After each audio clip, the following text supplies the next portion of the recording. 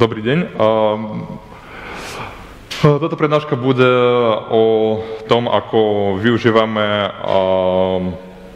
také veci ako Yocto a Open Embedded v firme, pre ktorú pracujem, v Kolabore. Trochu poviem o sebe niečo. Volám sa Andrej Šadura, som z Bieloruska, ako niektorí vedia. Od, vlastne som open source free software vývojár. Od roku, tak by som povedal 2007 približne, som kontribútor Debian a od roku 2013 som už aj Debian developer. A od minulého leta pracujem pre firmu Collabora, ktorá je open source consultancy, ale o tom poviem trochu neskôr.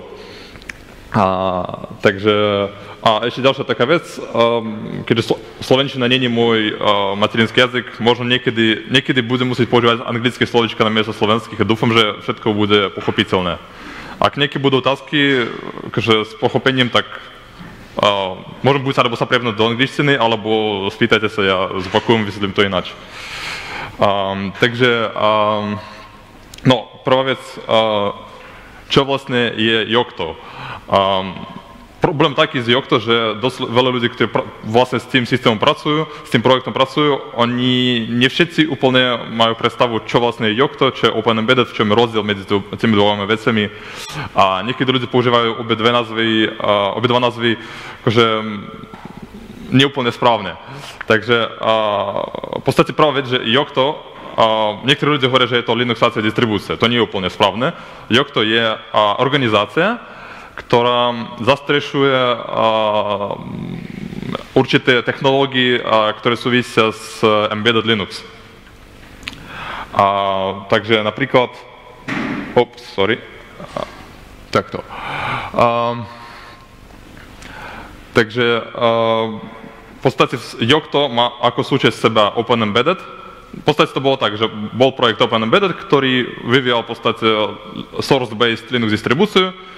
Vznikol projekt Yocto, cieľom ktorého bolo poskytnúť source-based Linux distribúciu pre embedded zariadenia. A tieto projekty sa spojili a začali uh, sa vyvíjať tro, trošičku iným spôsobom, ako pôvodne sa vyvíjal Open Embedded. Takže um, um,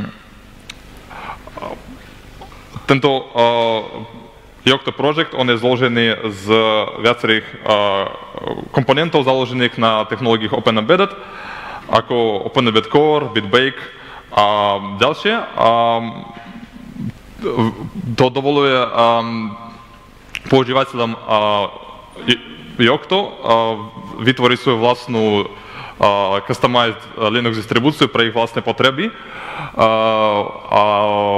Vďaka systému vrstiev, ktoré ponúka Yocto, dá sa kombinovať rôzne kusky od rôznych vendorov, ako napríklad od hardwareový vendor môže poskytnúť e, nejaký svoj, e, svoju vrstvu, ktorá ponúka podporu toho hardwareu. A takým spôsobom veľmi ľahko sa dá znovu používať kód napísaný inými ľuďmi. No a ďalšia vec, Yocto podporuje také hlavné architektúry ako x86, 32-bitová, 64-bitová ARM, takisto 32 64 bitov MIPS a ďalšie.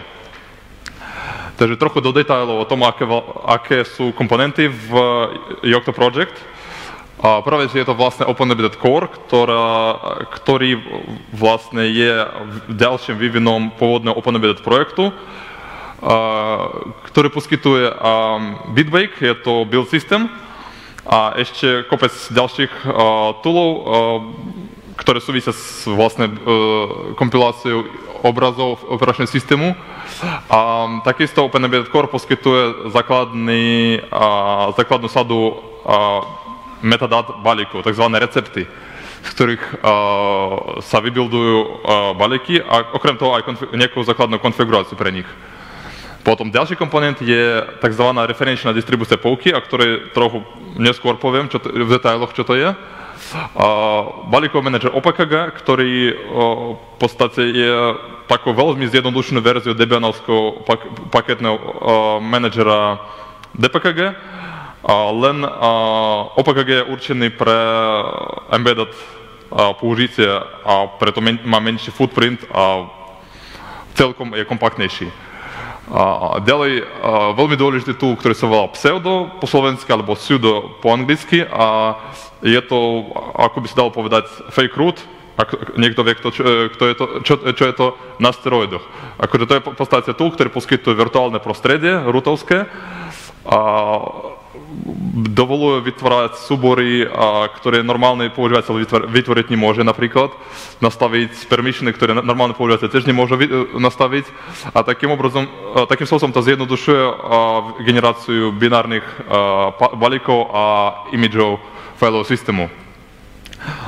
tam ešte je niekoľko uh, uh, o ktorých sa dá dozvedieť na Yocto. Tak, no, tento obrázok, ktorý som požičal z dokumentácií Yocto, uh, ukazuje vlastne uh, schému vývojového prostredia, ktoré poskytuje Yocto Project. Táto modrá časť je vlastne ten build system, a tie tmavo šedé a šedé a bloky sú vstupné dáta a zelené a červené sú výstupné a výstupy build systému. Ako to vlastne všetko funguje? A, mm, build systém bere metadata balíkov, tzv. recepty, ktoré hovoria, odkiaľ sa majú stiahnuť, ako som povedal predtým, je to source-based distribúcia v podstate, takže funguje to tak, že a metadata hovorí, odkiaľ treba stiahnuť uh, zdrojový kód, tam je to hore v podstate, source mirrors a, a upstream projects, odkiaľ treba stiahnuť kód, ako treba ho skompilovať, aké patchy na neho treba naložiť pred kompiláciou a ako potom to všetko zabaliť do binárnych uh, paketov. Um, ako, také build system ten podporuje tri uh, formáty uh, balíkov, je to RPM, DEB a IPK. Najlepšie podporované teraz je IPK. A vlastne jeho sa odporúča používať, ale keď treba DEB alebo RPM, dá sa použiť aj ich. Po kompilácii sa spúšťajú niektoré QA testy, ktoré, ktoré môžu odchytiť nejaké typické chyby v tých zdrojových receptoch. O, prípadne, ak tam sú nejaké vážne chyby, tak proces bude ukončený a používateľ musí bude opraviť niečo. No a nakoniec sa vygenerujú e, všetky balíky, sa nainštalujú do črútu a z neho sa vytvorí image failového systému a takisto nejaká SDK. Ale pravdu povedať, z SDK som ešte nikdy nerobil v Yocto, takže tú časť veľmi o tom ne, ne, nebudem komentovať. A, takže um, Uh, predtým som hovoril, že uh, dôležitá časť uh, Yocto Projectu je referenčná distribúcia pouky. Uh, Pouky vlastne je niečo, tá základná vrstva, tak by som povedal, od ktorej, s ktorou začína pracovať používateľ, keď chce vytvoriť svoju vlastnú distribúciu. Takže Pouky v sebe má všetko, čo poskytuje Open Embedded Core, takže základnú základnú sadu metadát balíkov, ktoré treba pre minimálny nejaký systém.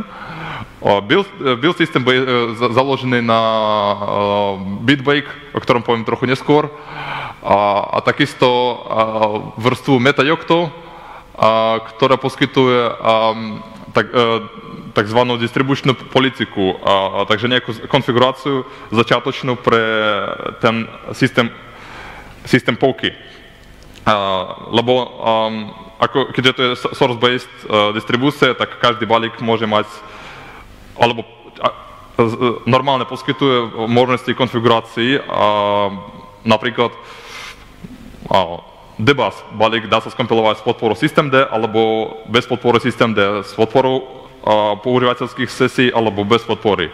Takže ten, tá vrstva MetaYocto poskytuje uh, také default nastavenia pre väčšinu balíkov uh, tejto distribúcie.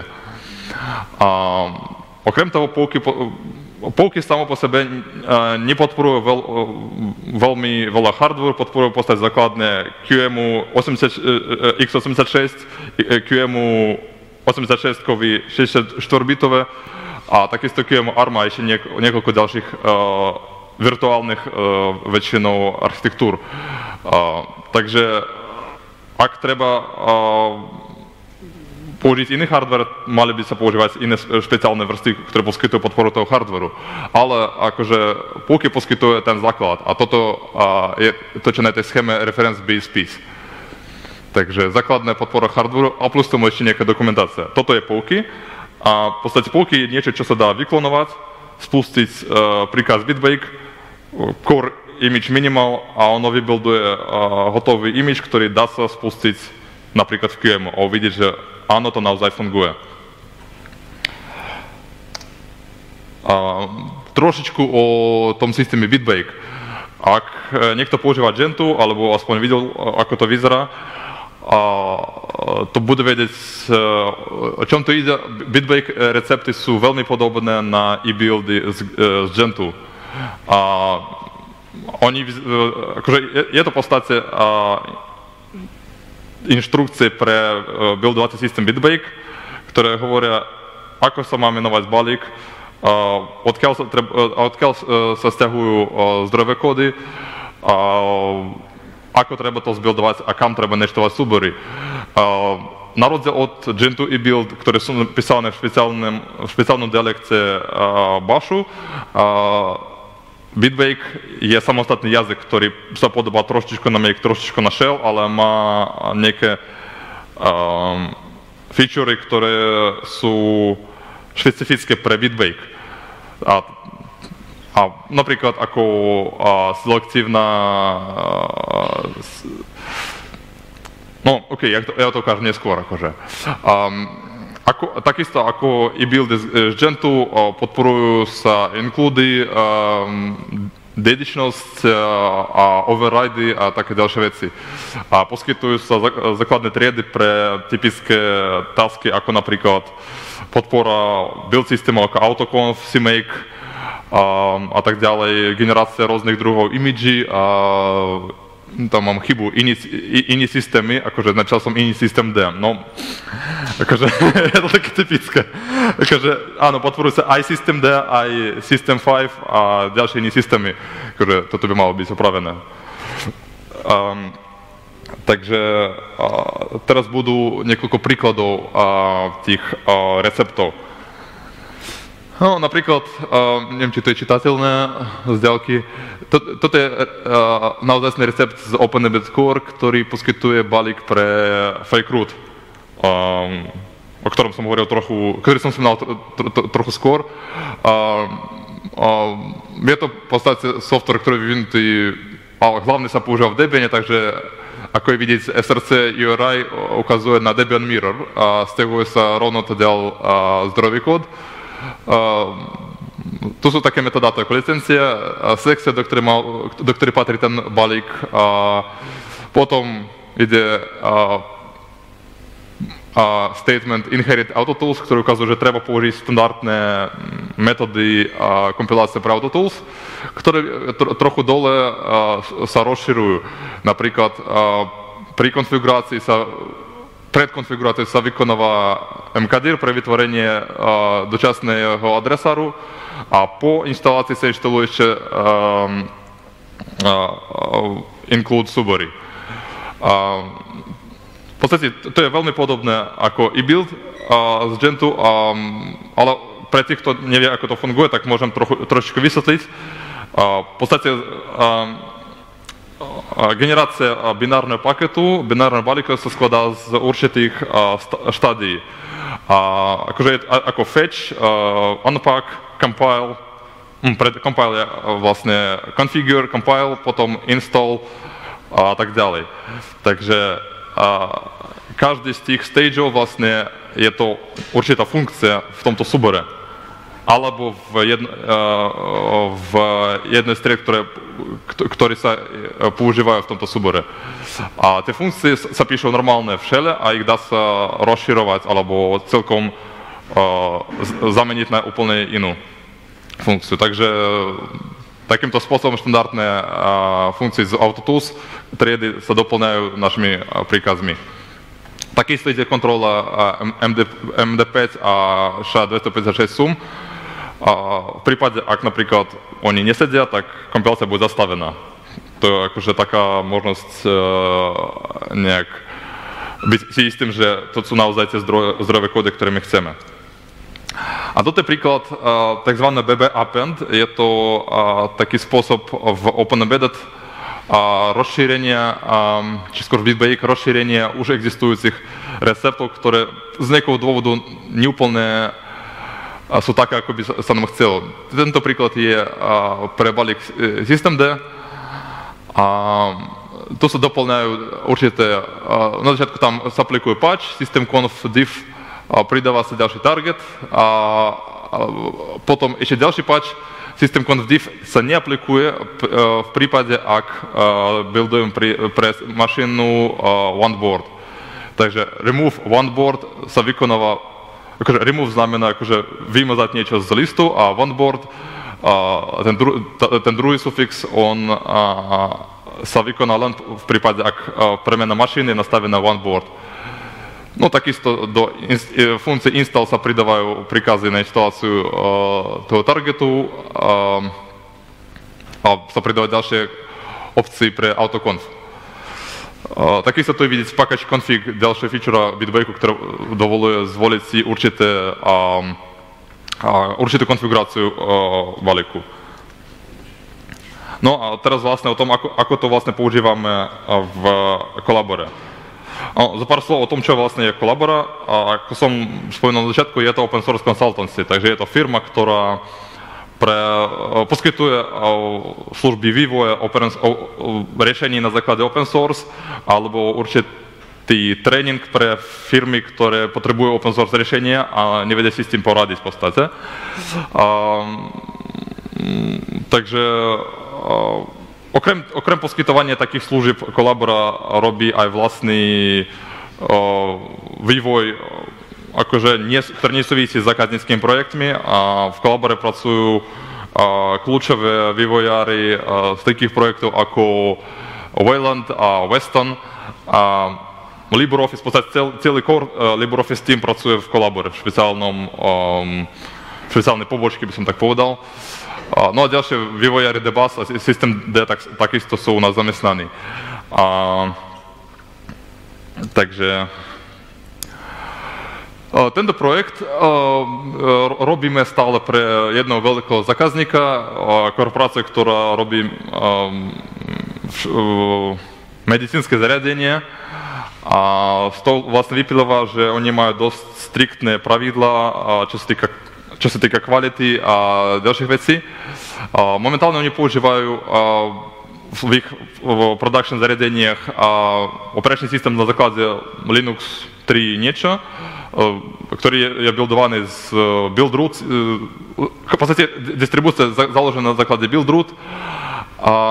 Používa strašný počet customných demonov, APIčok a ďalších knižníc.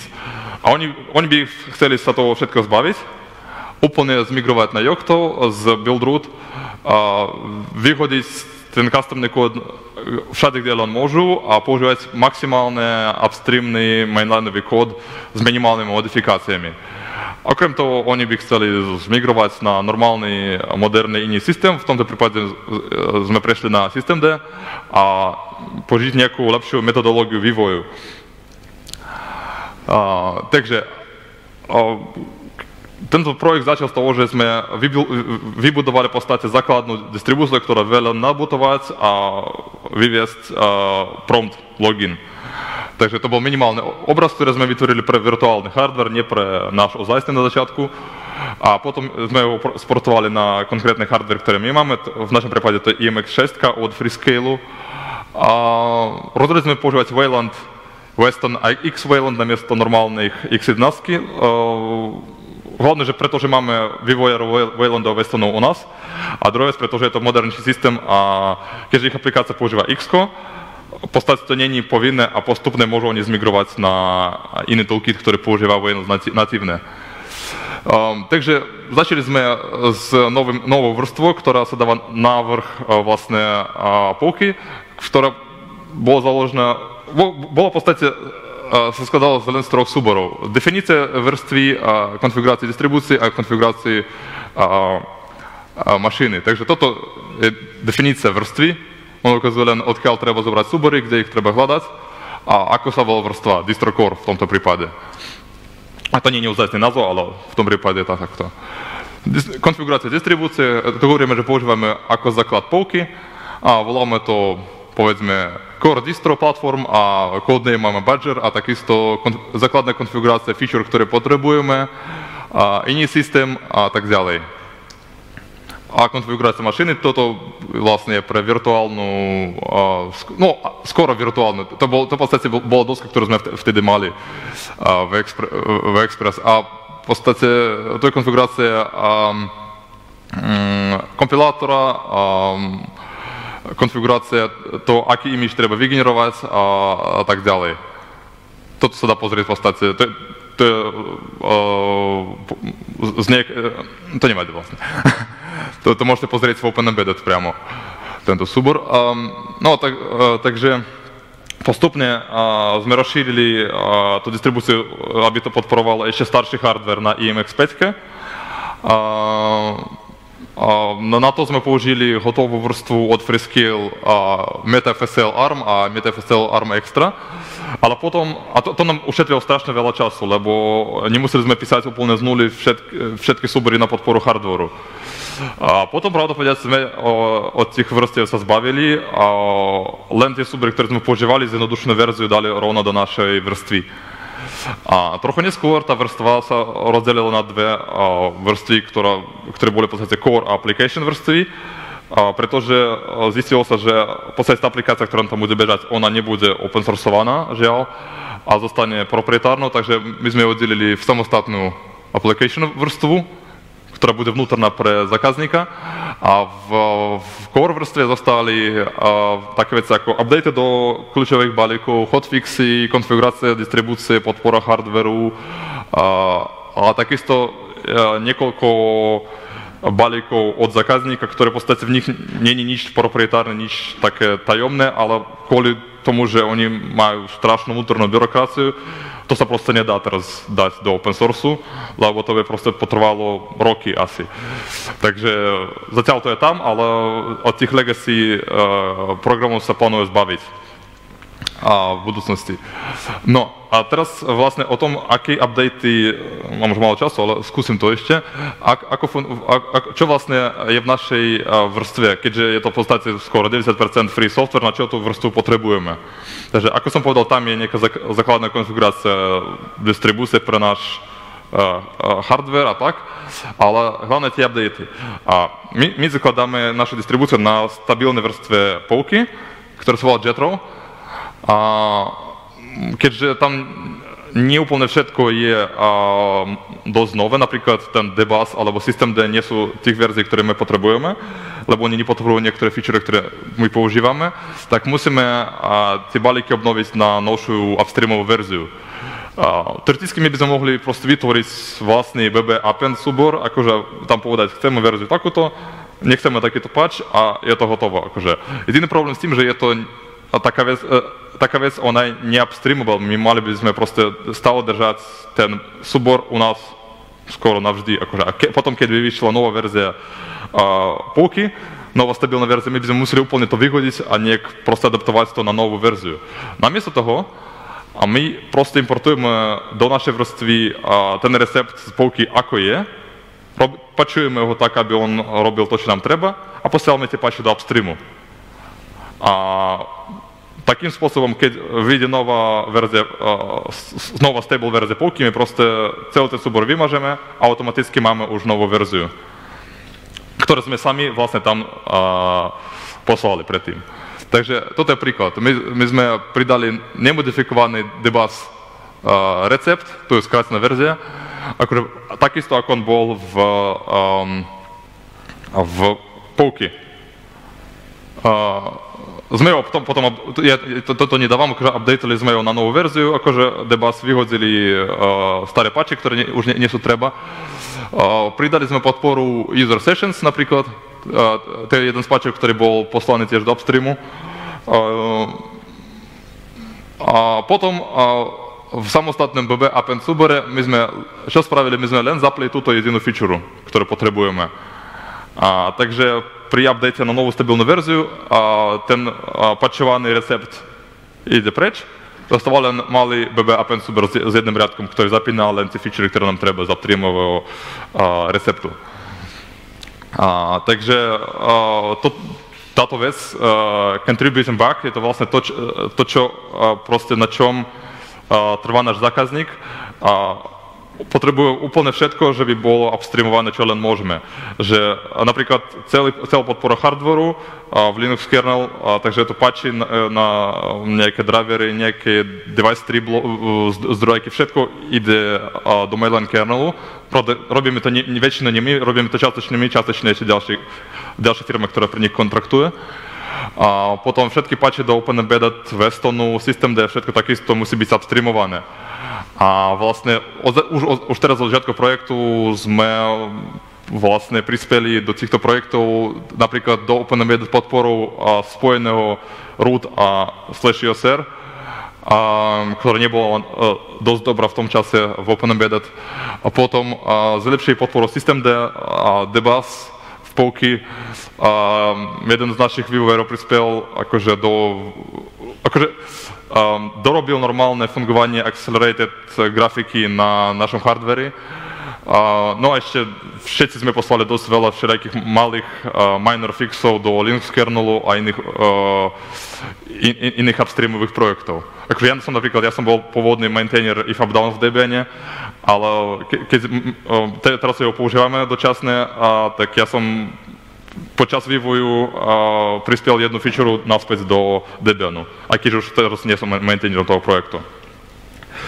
No, takže ako vidíme, dúfam, a, a, a, proste um, tá architektúra Yocto a, a projektov, ktoré sú v jeho súčasťou, dovoluje veľmi ľahko sa zbaviť o tých ne, nekonečných proprietárnych zdrojových kódov v, vnútri veľkých firiem a ponechať len minimálne nejaké veci, bez ktorých sa nedá a takým spôsobom sa zbaviť toho maintenance burden a proste a úplne zjednodušiť proces údržby toho softveru vnútorného ich a z druhej strany aj prispieť naspäť do komunity. V podstate je to všetko. A, ďakujem.